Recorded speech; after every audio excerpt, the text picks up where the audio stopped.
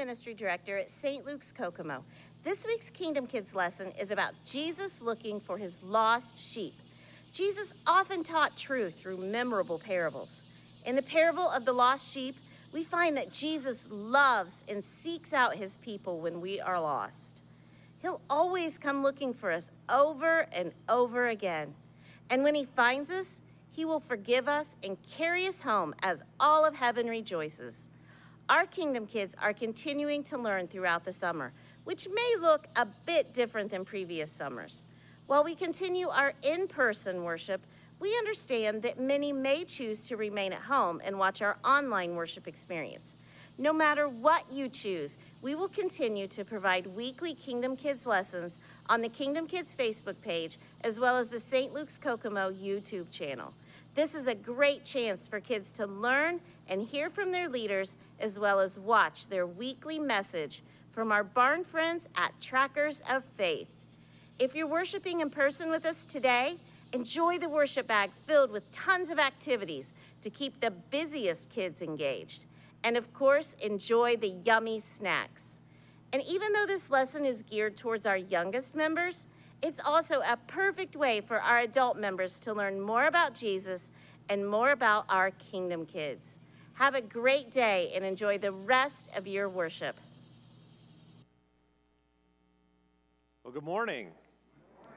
What a great day to be able to gather and worship. And so we're so glad that you're here and worship. And if you're joining us online, welcome. I'm Scott Pattison. I have the privilege to be the lead pastor here, work with a great team. And so we're so glad that you're here. And whether you're in person or online, we invite you to check in. So you may grab your phone or your tablet or whatever device you may have. If you've got the church app, go on, check in. It's always nice to be able to do that. Or if you're online, we always enjoy those uh, commenting on the line to be able to say, hey, you're here, where you're from, and uh, just some of the different things. Some of you have told us what you're eating and who you're with. And uh, it's always a lot of fun to be able to just to gather in these unique ways, but yet as we're gathering for this time of worship, know that God's going to meet with us here, whether or not we're in person or whether or not we're gathered in a manner of being scattered in one of those ways, that God meets us in those times. We do have our resources as Jenny mentioned, with our Facebook page, our YouTube app, and the other uh, Facebook pages for our children and family ministries and our youth to be able to stay connected in, in these times. And so we invite you to do that. And so as we continue with our time of worship, today uh, is a great day that we really expect God to come. So if you're at home, feel free to grab your beverage and fill it up. And as we continue with our time, we come expecting to what God's going to do here. So, hey, let's get started.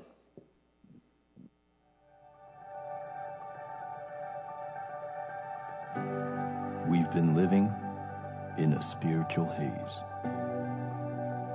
limiting our faith to church on Sundays.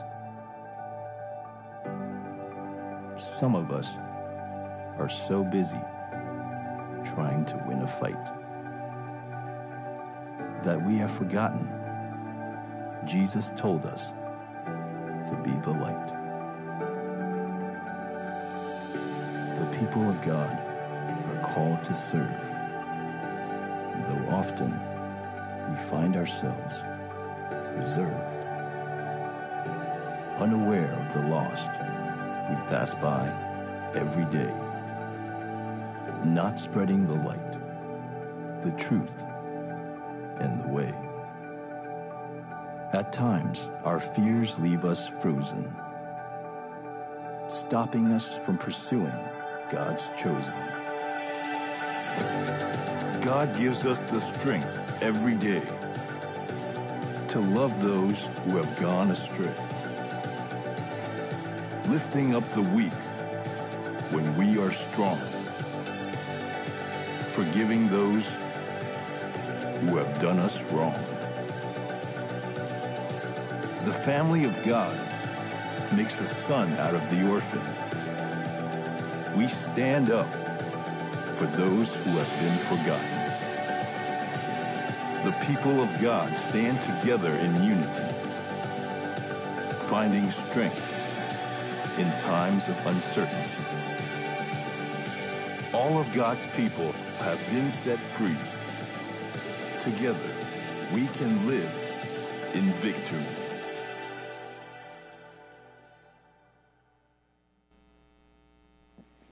Amen. Good morning.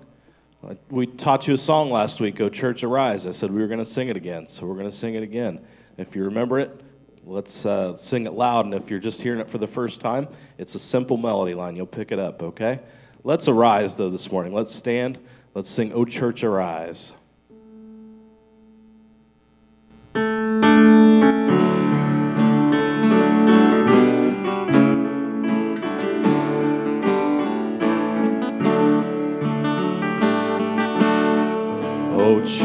Church, arise and put your armor on. The call of Christ our captain. For now the weak can say that they are strong in the strength that God has given.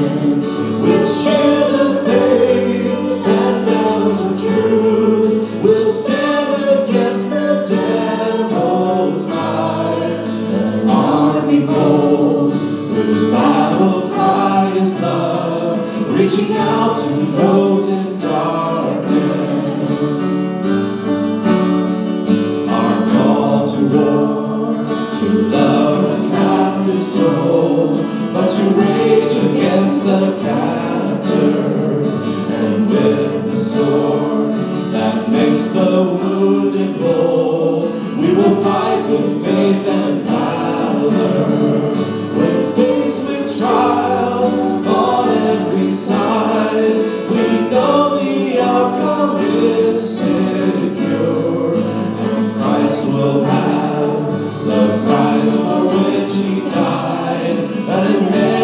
inheritance of.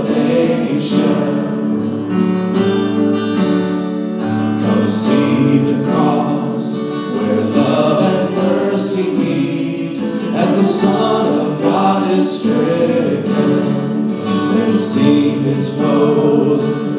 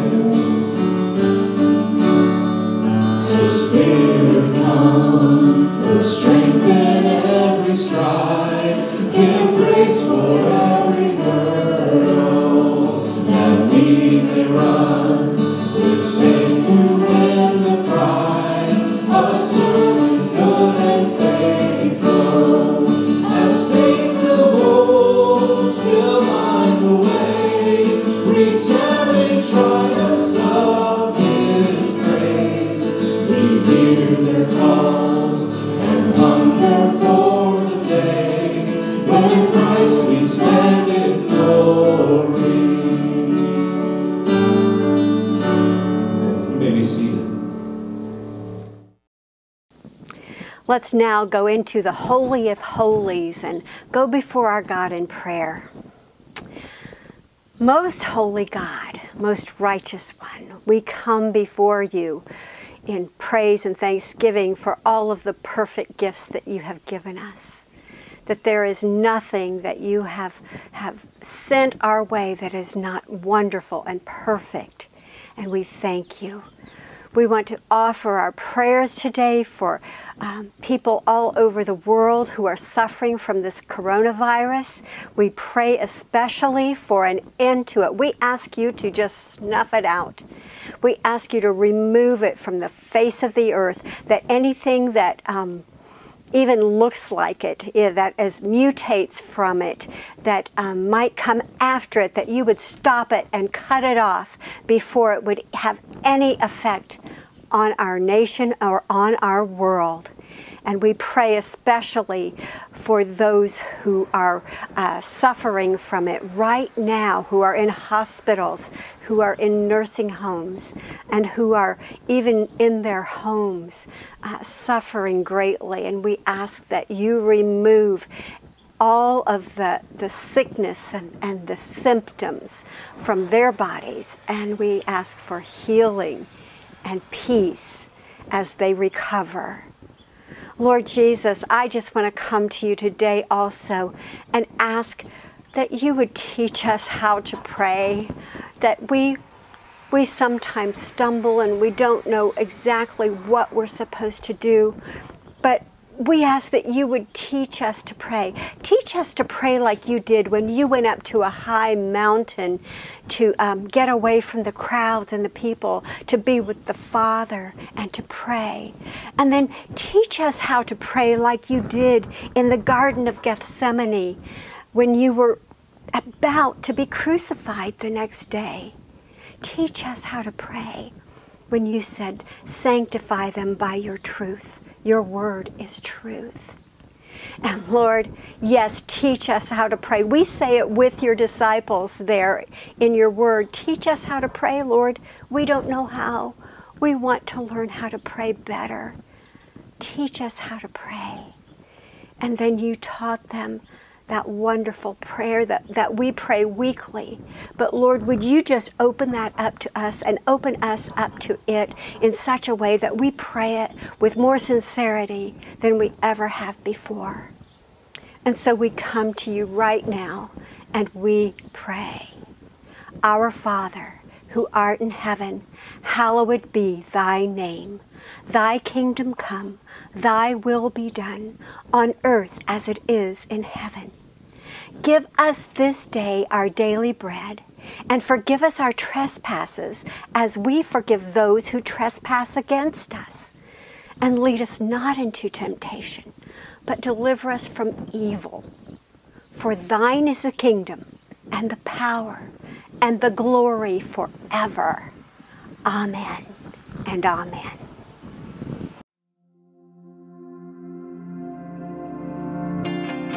These have been challenging times, but the body of Christ has proven itself resilient. We've gathered in different ways, in different places, yet stood steadfast as the church. We have found peace in God's promise to never leave us or forsake us. In our separation, we have remained united. In our struggle, we have lived out our faith in the midst of the unknown, we've leaned on the strength of an all knowing God. Throughout history, the church has thrived in adversity, and this moment is no different. The power of God is unstoppable, His love unending, His grace unrelenting, His glory undeniable. Today, no matter where we gather, we remain God's people. Our mission has not changed. Our calling has not been altered. And nothing, absolutely nothing, will ever change that. We are the church, and today we stand resilient.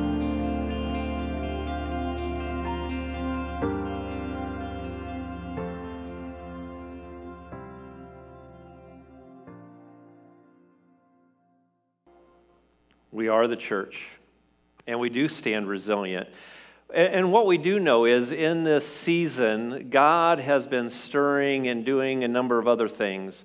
And, and this, this message today, after just spending about 10 plus weeks in Ephesians, where we're just unpacking and walking through the, the book of Ephesians and just expositorily walking and unpacking, today is going to feel very, very different. And so it's really what I call a one off Sunday, but it's actually leading into other pieces. And it's been interesting because as, I, as we've been sitting around the staff table, every now and again they'll go, What do you mean by that word or that phrase. So we've been learning each other's language. And what I mean by a one off is, you know, you're in a series, and then you, you have a Sunday that's kind of a standalone Sunday. It's not a part of a series, its own message. And, and so this is one that's actually kind of a one off, a standing alone, but it's actually reaching forward. And we'll talk a little bit about that going forward. And so, uh, those of you online, you can download the sermon notes, and, you're, and actually, our sermon notes are going to be a little different today. And if you're here, um, I've got a couple of questions that I'm going to ask later into the message. And but feel free to jot some notes down when we look at that. Uh, but, because, but we're going to be looking at God's 2020 vision. A couple of months ago, um, in my devotional time, I was spending time thinking, and a lot of memes on Facebook were about how 2020 is horrible. You know, you see the peanut butter and jelly sandwiches with the peanut butter and jelly on the outside of the bread, and the un, you know are together, or the meme from Back to the Future when they go, "Don't go to 2020, year 2020," and and you know, we talk about you know, this is one of those years we all wanted to try to get out of 2019 and look what we got into. And, and it's just one of those really weird years. And it hit me what if 2020 is really God's vision for the church? What if in this season God is stirring us for something down the road? And, and so we're looking at what does all of that mean? And it was out of a time that through our Get Acquainted gatherings, so we've been here just a little over a year as pastor and people. And so during the Get Acquainted gatherings, we met in people's homes and we just asked a series of questions. Help me to learn your story. I shared a little bit about my story, gave a chance to ask questions. We had just sat down uh, as a congregation and we're talking about what's going on with the denomination and some of the shifts that are happening. And, and for those of you that are wondering, uh, everything's still where it was. It just got pushed back about a year. Uh, and so, our general conference was supposed to happen in May of 2020. It's actually going to happen at the end of August, 1st of September in 2021. And so that conversation has kind of been put on hold, but everything's still moving down that road. And, and what does a new expression look like? What will the old post separation United Methodist Church look like? That's still happening. How we do our annual conference is very different. But we were having these conversations as a congregation, and we were sensing, you know, what is our next and what is God going to do? And, and all of a sudden, we had COVID hit. I, I remember when we were, it was March 15th, and it was our last Sunday, should we gather or not? We chose to gather. We were in a series called Habits, and that habit that week was worship. And I said, you know, worship, God is always the object. But I wonder if in the middle of this, and, and, and all the way through time, our methodology must always adapt and change, as it has historically. And I said, God is always going to be the object of our worship, but our methods of worship are going to have to change and may change. Little did I know that week, literally that week, how we worship changed exponentially and significantly because we couldn't worship together. The world was shut down and we adapted and we uh, adjusted. So today, I just want to let you know we're still having a congregational conversation, and today is still part of that conversation. And so, what you have as a handout is one of those tools, and I'll share with you a couple of other ways to be a part of that conversation. And so, we're looking at what is God's 2020 vision for us, and, and what does that look like, and, and, and all of that. And so we were away to Tennessee in an amazing cabin, had a creek next to it, and, and when we got a chance to get away in February, uh, it was the Sunday we, we chose not to go to some of the churches around. We said, We're in God's amazing sanctuary. We're just going to worship here at the creek. So we had a fire, we had communion, and we just sat and talked and prayed, Anita and I.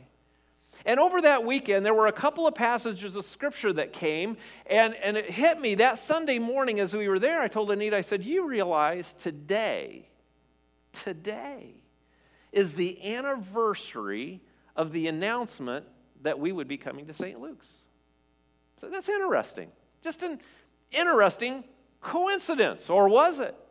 Because the scriptures that God was giving to us were very interesting as we were just kind of going, wow, where, and we were reflecting a year and, and, and what, what was going on in that year and what was God doing and what would God do and, and what was God's plan in putting us together as pastor and people. And this is one of the passages of Scripture that we were given that weekend, and it said, For I am about to do something new. See, I've already begun. Do you not see it? I will make a pathway through the wilderness, I'll create rivers in the dry wasteland. So here we are with this babbling creek pushing through next to us and, and enjoying that and just kind of going, Well, that's, that's interesting. You just kind of, what, what does that have? I love how the Amplified says it just slightly different. He says, Listen carefully Lean in and listen carefully. I'm about to do a new thing. Now it will spring forth. Will you not be aware of it? I will even put a road in the wilderness, rivers in the desert. And I thought, well, that's, that's fascinating. On the anniversary of the announcement that we would come here, we were just kind of going, okay, God, what is it you would have, and, and why are we here, and what is that? And we had a chance just kind of get away and stop and, and reflect. Little did we know all of us, little did we know, within a month, the world would shift. Now, what's been interesting is the last 10 years or so, those who have been watching the church have just said, we're about to enter into another tectonic shift, that the same shift that happened when the Gutenberg press came the church made an exponential shift with the Gutenberg press because now they could print the Bible and the Bible would be in everybody's hand. But they've been talking about this thing called the internet. I don't know if you've heard about it, but the, the internet and how the things are going to change the church. And it's like, internet's not going to change the church. You know, the internet's something that we do email on, we do some shopping on, we can check Facebook, we can do some of that. But how's the internet going to change the church? And all of a sudden, within the last few months, everything shifted. And that was our lifeline. That was our connection. That was the way we could interact. And now we're having meetings on Zoom. I did a funeral on Zoom. I've been doing premarital counseling with a couple I'm marrying this coming weekend. I've been doing premarital on Zoom. And some of you have been doing family gatherings on Zoom. And, and many of you have had too many work meetings on Zoom. But, but you know, it's one of those crazy pieces that we kind of, this thing off to the side now becomes a vital piece in what we do. And all of a sudden, we're seeing these exponential shifts. And so, one of the things we were doing in the middle of all of this would sit down in our staff meetings and we would just kind of go, How are you? You know, we're, we're, we weren't sure what was happening, so that was always a connected. We did staff meeting on Zooms for a while, and then we like, should we get back together in person? Should we? Is that going to be safe? Can we do that? You remember those moments where you're like trying to figure out what that looks like. Before we ask whether we could gather, you know, we're just like, can we even be together? And is it safe? And, and all that that means. And, and so I invited the staff to sit up here, and they're going to help me preach the sermon today. And they're not coming up here now, they're going to be up here electronically because we gathered up here as we had with our staff meetings. And I said, you know, we just trying to figure out every week, and we are rushing through, and it's easy just to keep moving forward. But I think it's important for us to stop. One, just to kind of take our breath, we're in that kind of recoup time. But I said, we learned some things and we felt some nudges, and if we don't stop and ask the question, it would be easy just to keep blowing through. And so I invited them, and it was a 30 minute conversation. We just sat up here and talked, and we edited it down to about 13 minutes.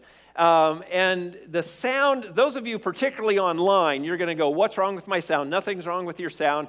Uh, Bruce did a wonderful job trying to capture the sound. And, and we, as we edited it down, it'll go high and low. Some pieces will cut out. That was a video thing. And, and so if you're online, um, don't worry about your sound it's not the sound, it's, it's not your device. Now, the other thing I want to let you know, and, and those here, I'm going to post it on Facebook and I'm going to post it on YouTube so you can go back and listen to it. So, so don't feel like you've got to try to grab every word. You'll have the opportunity to go back. But I thought it was important, for one, as a staff, for us to go, what did we learn?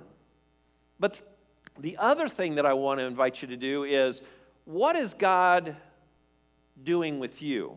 Because I know as I've talked to some of you, God's been stirring in you, and you've been asking that question, and you've been stirred, and you have some hunches. And we're going to grab into that. And so I want this to invite you to go back to those moments because it's easy just to move through. And so we just are going to pause. I'm going to invite you into our conversation. And, and just as we reflected, and then we're going to come back and give you some ways to continue to stir and discern what God is doing, because I really believe that we're in those moments that God is doing a work. And so I invite you to listen in to our staff conversation, and, and it was just a lot of fun to be able to, to connect with that. And so here's some thoughts that we had as we shared together. Well, I just want to take uh, some time to gather. Um, this is something we've kind of done as we've started our staff meetings and spent time just kind of reflecting. Each week was adapt and adjust and reflect, adapt and adjust and reflect. And wanted to take a few moments just for us to sit around and, and have a conversation to capture for us to think back and allow the, the congregation and those listening in uh, to hear a little bit of our reflections. And so I just want to start with what are some of your general reflections of this season, the last couple of months? I mean, there's been a lot moving, and we've just have been adapting, and you guys have done amazing, and I'm so uh, pleased with where we are, proud of each and every one of you. Um, but, but gosh, as we kind of pause and look back, uh, we're like dust is settling, we're tired, we're recouping, uh, adjusting. What are some of your general reflections over the last season that we've been in? I know I've been amazed at the people that we're able to reach that we hadn't been able to before. There was a sense of everything shutting down and yet being so busy. It was like there were two ends of the spectrum and there wasn't much in between. I don't know if any of the rest of you felt that way or not. There was there was this go go go, we've gotta get this done, and then you go home and you sit yeah. So it, it was just, that was different. I mean, I mean it, it, and we're still there a little bit. I think we're just adapting. Yeah. I think with me, it's been that everything is different. Like, my job has been different. I don't get the face-to-face interaction with the kids that I used to get. It's, it's changed, and it's, it's disheartening in a way because I miss the kids, but yet we've learned new ways to actually communicate with each other by Zoom, and we've learned how to do things via social media that I never would have delved into before. Yeah. well, I think those things, we didn't know they were possible, even some of the things that we've done. We weren't even really aware that they were an option or that they were something that could be. And we had the master Bruce to be able to adjust the technology. well, I've enjoyed uh, learning all the new technology of streaming and how to put lyrics on top of live video. And uh, it's increased the number of hours a week that I need to work on worship, but I, I've enjoyed every minute. We had to rethink the um, the elements of worship, what defines worship and how, how are we going to facilitate our people um, in the midst of this and how are we going to communicate with them and how are we going to reach all of them, whether they're tech savvy or not. Um, but the elements of worship, why do we come together and how, what can we still provide even though we can't, couldn't at first be together in person? I think one of the things was as far as worship is concerned is that we were always so concerned about putting on the show on Sunday morning. And we had to learn that, hey, we don't have this perfect. We may, we may need technically a couple more weeks to learn something, but we put it out there and we did everything we could to try to reach the people that were here and the people that, that are out there. Yeah. We had to stay positive because everything else was so hard. Everything else was so mm-hmm. Uncertain, and so it kind of made that our team dynamic, that we would take care of one another, and we would talk to each other, and, we would keep the doors open of communication between us, because we didn't know what the heck else was going on in the rest of the world, but we had control, so to speak, over what we're doing here. So it was nice to be able to come to a, a smaller community of people that I knew I could lean on.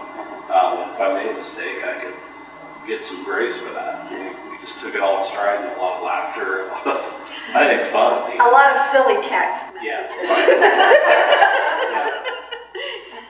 So, what, from your perspective, is one gift or one thing God has gifted St. Luke's in this season? Change. Change. The ability to learn how to change. In all of us, staff, leadership, congregation. Yeah. I think it's fun to see how people have stepped up who actually had no interest in Zoom or Facebook or anything, and yet they got on board with the help of maybe children or grandchildren or whatever it took so that they could be connected. One other thing I see is that since so many people had so much free time, you know, a, a lot of people spent that free time at the church volunteering for different things. And so uh, we've, we've just seen so many wonderful things happening around here, you know, as far as fixing up the church and the sanctuary and restrooms and everything. so it's, and, and it was nice to see those people. Give them an air. Yeah. I think it's neat to see the way the congregation has stayed connected by calling each other and checking on each other, and that's, that's been nice, and they can't meet face to face, you still have that contact. Yeah. The church has been the church. It hasn't been, you know, hey, you as a staff, you've got to do this. And they go, no, we're the church. We're going to call. We're going to care. Mm-hmm. Just the gift of time. I don't know how we would have done any of this. Trying to do two jobs or, or ministry, that we- you know, just with things in motion, how would we have had these conversations? How would we have gotten things done that we've, we've done? We were so intentional about talking before doing the thing and then talking after. And without that time, you know, I, it, would have been, nearly impossible or would have been constant emails and there would have been miscommunication and something lost and we just wouldn't have been on the same page.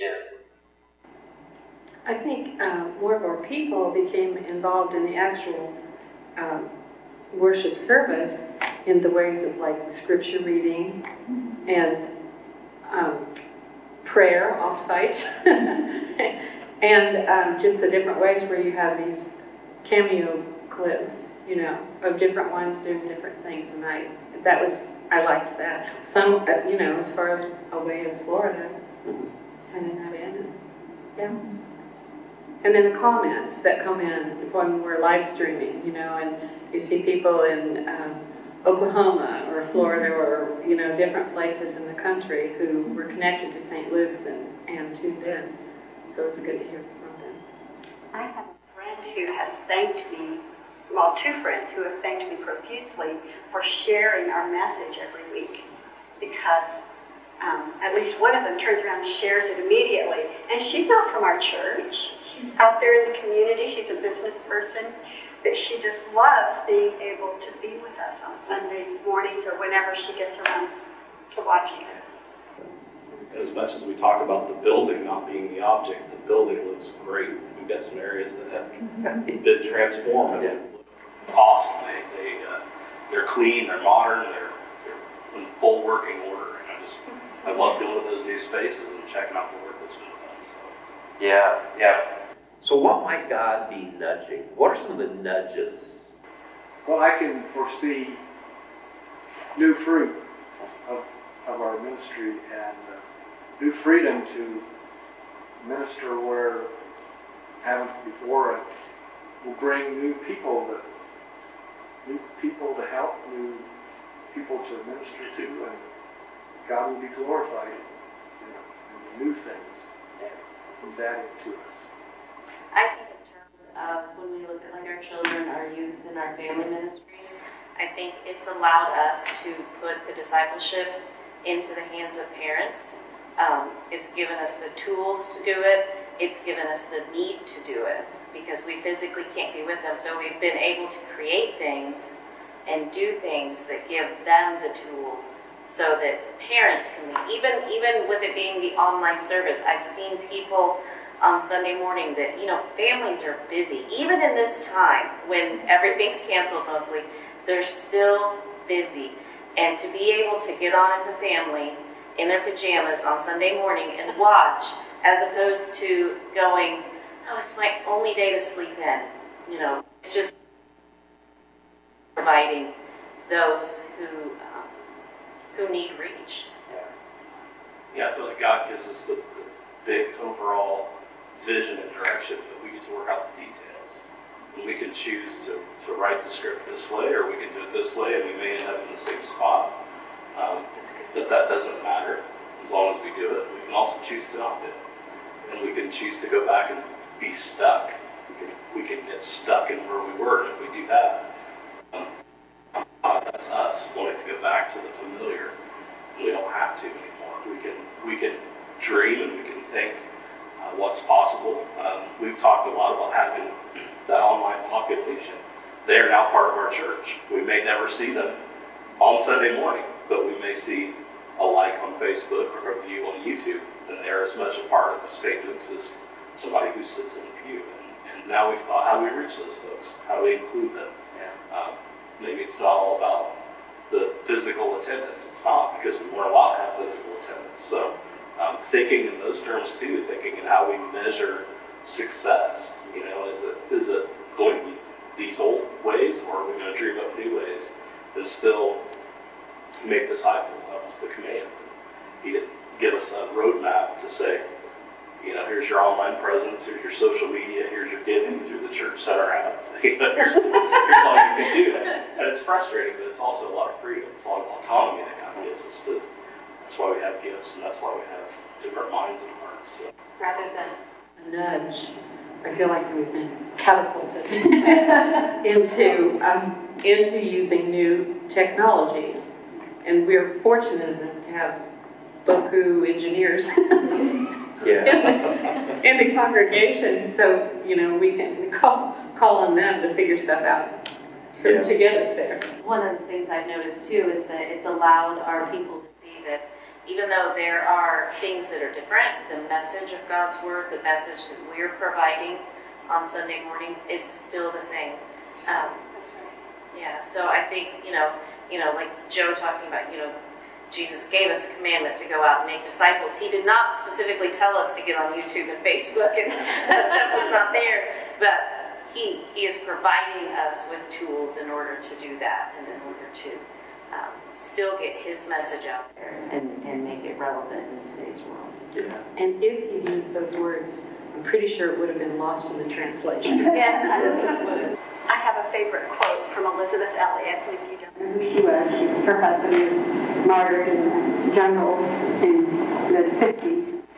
But, um, and she became a, a spokesperson for the body of Christ and to the body of Christ. But um, one of her things was uh, when you don't know what to do, just do the next, and you don't know God's will, just do the next thing. And I think that that's how we've operated, and I think that that's how it's going to be down the road. Do the next thing. We've only just begun. I feel like there are people who have dreams, ministries that are maybe they've been waiting for the right time, or um, people are wanting to slow down and phase out, and somebody wants to phase in, or, or some, somebody wants to start something, or uh, this is the time to dream, this is the time to, to step forward and do. That's the next step. Oh, well, again, I have appreciated serving in this season with y'all. As you can tell, we had a lot of fun and we've learned a lot. and we're continuing, excuse me, we're continuing to go, God, what is that next?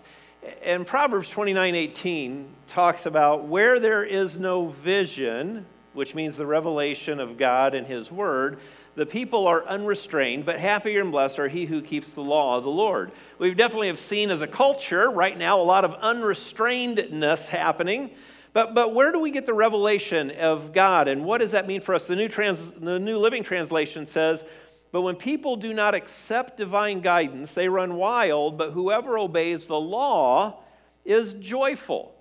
And so, what is that vision that God has for us? What is the revelation that God has for us moving forward? Now, one of the passages of scripture I've used with our leadership, I've used it a couple of times, and it's one sentence of scripture that uh, I think is fascinating because it's one sentence out of the books of Chronicles, but I think it's powerful and I think it's timely for where we are. The New Living Translation says From the tribe of Issachar, there were 200 leaders of the tribe with their relatives. All these men understood the signs of the times, and they knew the best course for Israel to take. You know, it's one thing to kind of read your culture and to read what's going on, but then it's quite another one to go, but what's the best route? What's the best way to navigate that? The New Revised Standard says it's slightly different. Of Issachar, those who had understanding of the times and to know what Israel ought to do, there were 200 chiefs and all the kindred of their commands. And so we're uh, in a season where we're going, what is that going forward?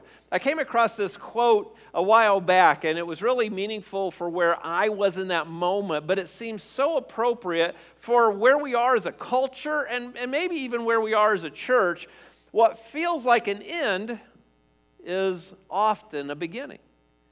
And, and when we think about, you know, will 2019 normal ever happen again? Probably not.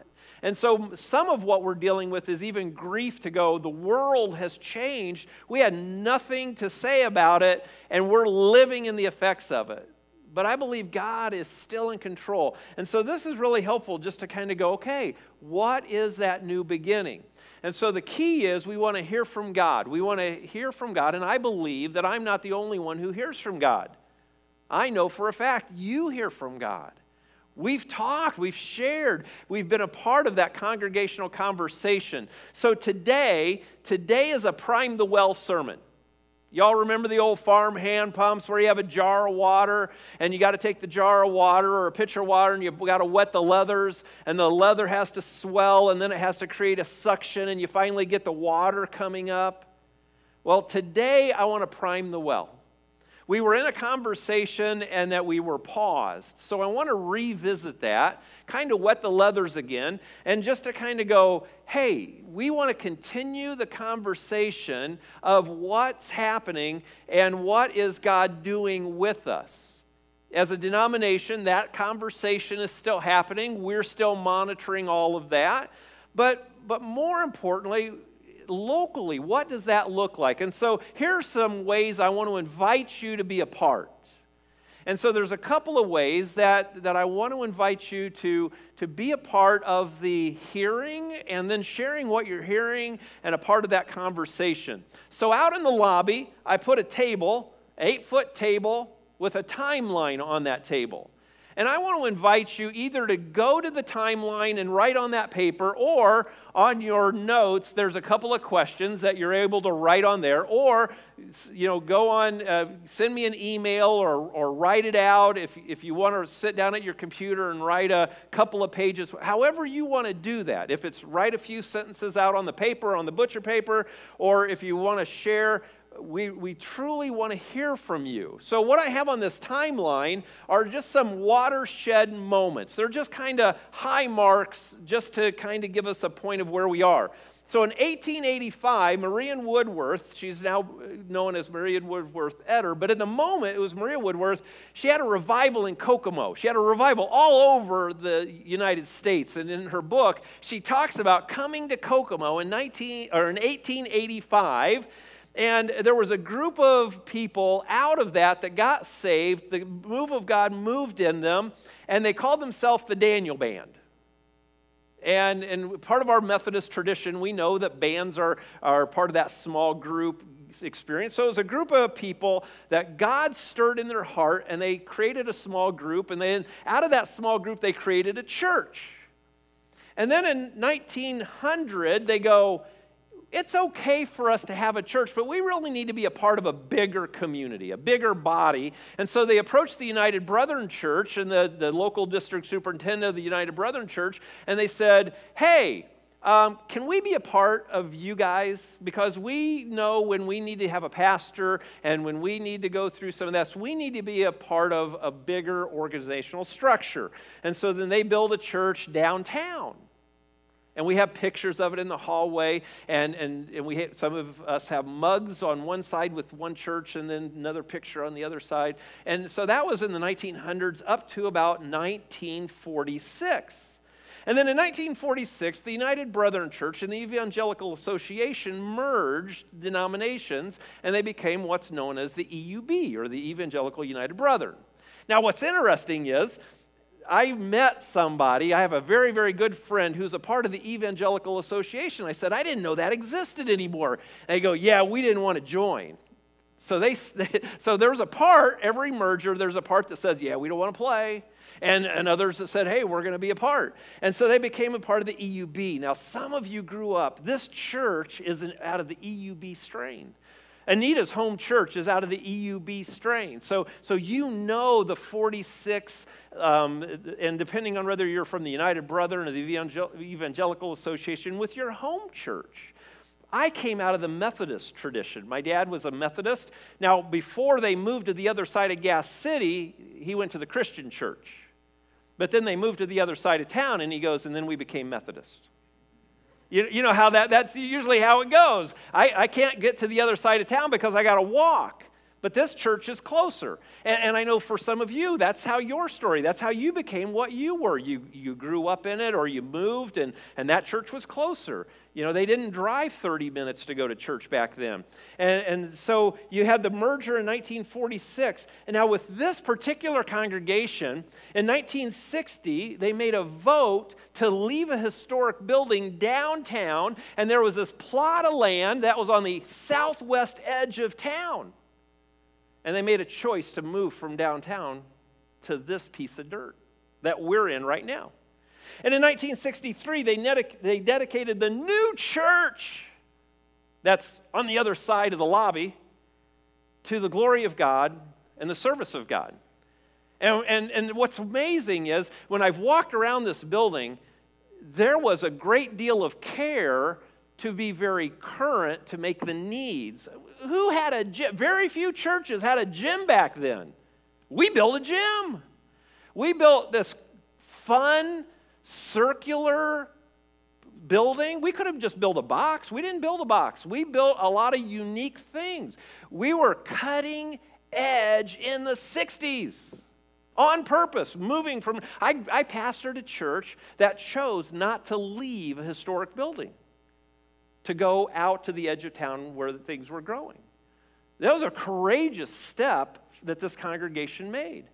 And, and then in 1968, the EUB's bishop approached the Methodists and they said, Hey, you guys want to join forces? And the EUBs and the Methodists merged. Now, what's interesting, some churches are still ticked off about the 46 merger, let alone the 68 merger. And some of you know what I'm talking about. and so in 1968, we became what's now known as the United Methodist Church. And, and, now here we are in another watershed moment that we're going, what does that mean? Is there a new expression of Methodism that's being birthed? And, and, and what is the post protocol or the old version going to look like? And we're in another moment as a denomination to look at what does that look like. But, but I believe we're also in a moment as a church. What does that look like? In 1983, when we burned the mortgage for the building that's on the other side of the lobby, one week later, y'all said, Hey, we're not done. Literally a week after the burning of the mortgage, you were here, some of you said, We're packing them in, three in, and, and that's rough. And we believe that God's called us to do something. Two years later, we built this building. And this isn't a square box. And one of the things that I continue to be amazed at, you didn't just build a box and go, okay, we're going to call it a church. You did a lot of hard work, a lot of hard prayer, and said, but how can we be unique and culturally current and relevant in the moment? And you were. And so, as we look at that, I believe we're at another moment in time. Here we are in 2020. And, and I, I, I'm not just saying this, I'm not just kind of blowing smoke. I really believe that we're in one of those moments that we're going to look back in time. And this is one of those moments, definitely as a denomination, potentially as a local congregation, that we're going to look back and go, this is a watershed moment. That we've got to pray through and make some very interesting, potentially courageous decisions. I don't know what that looks like yet, but I just sense God is stirring something. And, and as I've talked with some of you, you're feeling that same as well. And, and as I just know a little bit about your history, our history, I'm excited because I know this is a church that prays about it. And this is a church that doesn't just make a decision, they make good decisions. They make God decisions. And we're in that moment to kind of go, God, what are you up to? And, and, so, two questions I want to invite you to think about. And so, the first part from 2020 down to 1885, where have you seen or experienced God while at St. Luke's? And so, write it in there on the timeline, write the date, and, and let me know where you see God. Because what I do know is, as I've heard your story, and as I know the story of this church, God has moved. It's birthed out a revival, but God has moved historically wonderfully through the years. And, and your faith has been a part of that. Now, I also know some of you had God stories outside of St. Luke's. Those are important too and I want to hear those. But, but particularly as we're just kind of going, where, where is God going? I, I, we want to go kind of, where, where are we just sensing that? The second question I want you to do is as we go to 2020 and moving forward. Now, some of you are thinkers and some of you are feelers.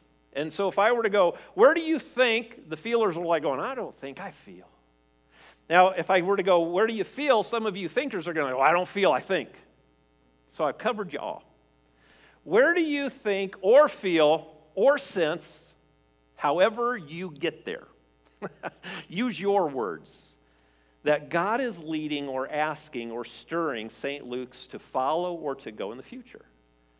Because I believe over the last few months, God's been stirring us and, just like when, if I not, didn't pause and go, hey, staff, we've been, gone through a lot, and God has been revealing stuff to us, if I never stopped to ask the question, you wouldn't get a chance to, one, get a window into what was happening behind the black curtain and behind all of those things.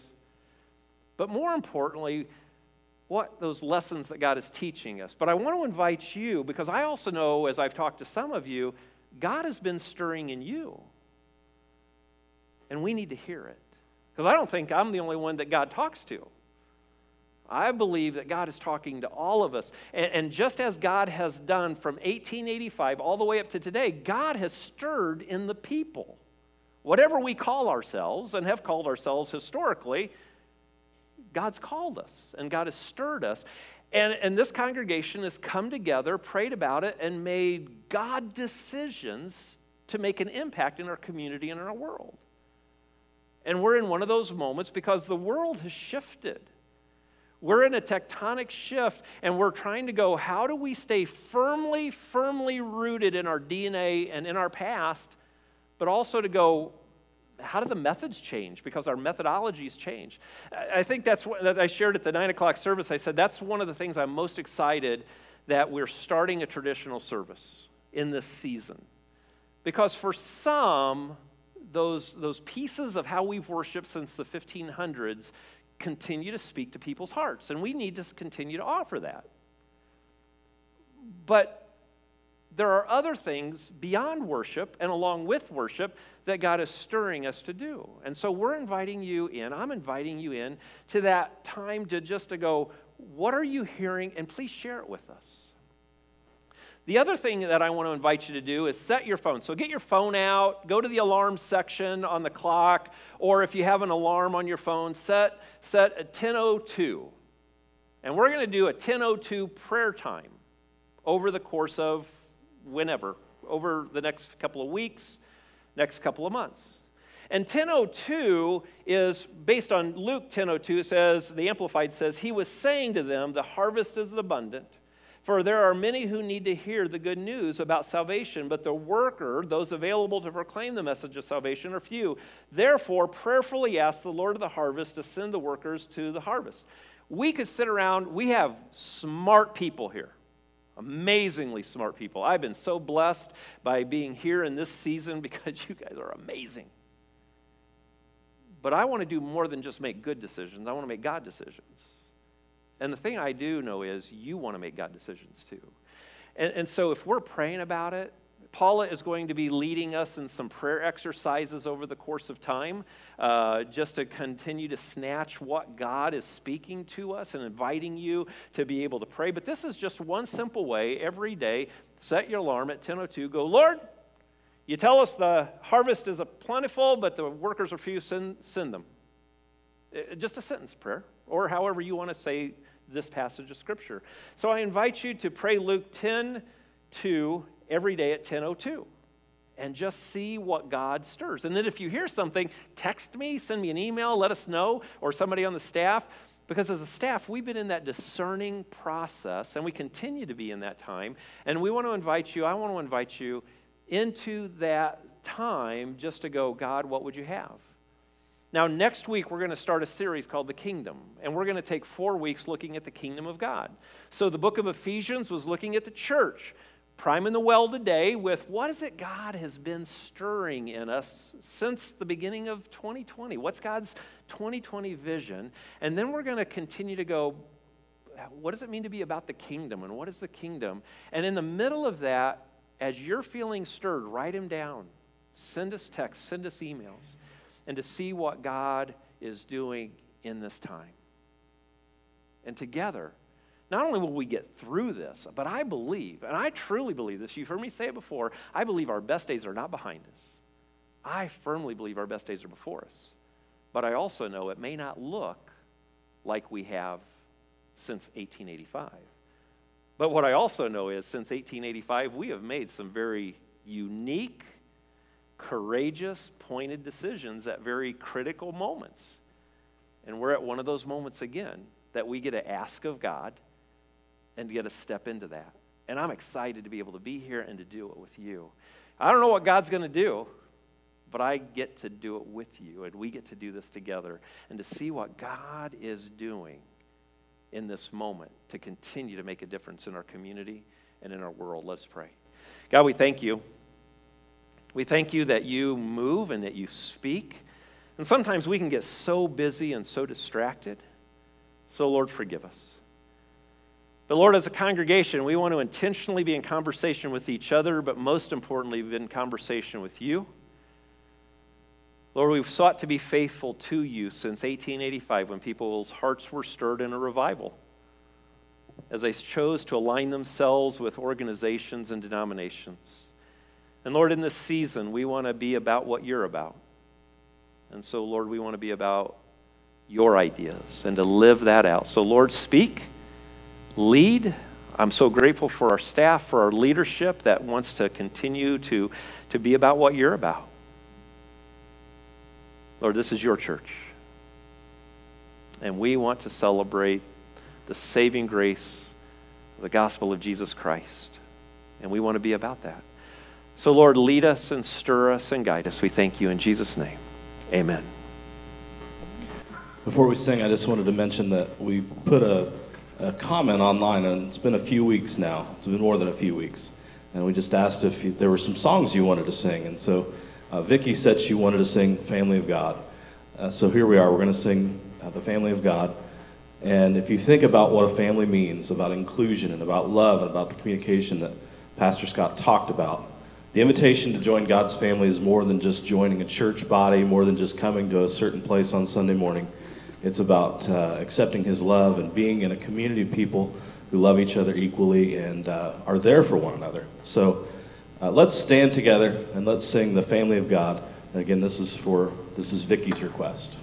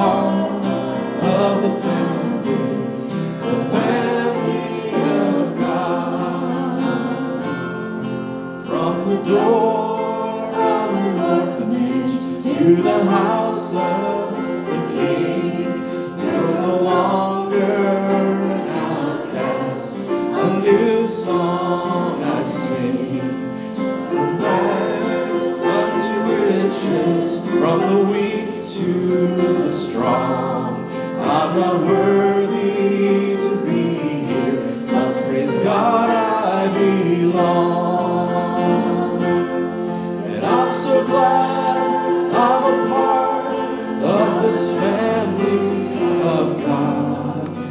God. I've